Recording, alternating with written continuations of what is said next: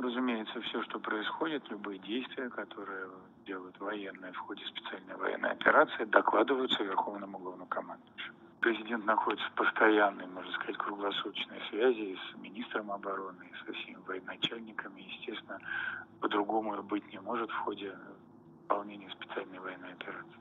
Специальная военная операция продолжается э, и будет продолжаться до э, достижения тех целей, которые изначально были поставлены. Безусловно, конечно.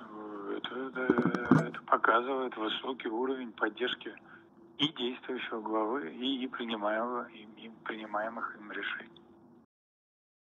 Усматривая в настоящее время какой-то переговорной перспективы, э, и по-прежнему э, констатируем отсутствие каких-либо предпосылок для таких переговоров.